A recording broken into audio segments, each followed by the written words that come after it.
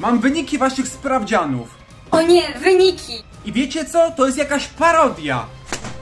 Oho, na pewno mam jedynkę. Maciek jedynie widać, że się uczył. Brawo, dostajesz piątkę. Dziękuję bardzo. Tomek, dwuja. Co? Dlaczego? No bo przepisałeś słowo w słowo od Maćka. Sk- skąd pan wie? Bo przypisałeś to z błędami. Co? Jak mogłeś przypisać z błędami? Bo ty tak brzydko piszesz. Hehe, ale to ja mam piątkę. A, spadaj! No to następny gagatek. Paweł. Oby tylko nie jedynka. No to dostajesz jedynkę. A, przepraszam, jedynkę z plusem.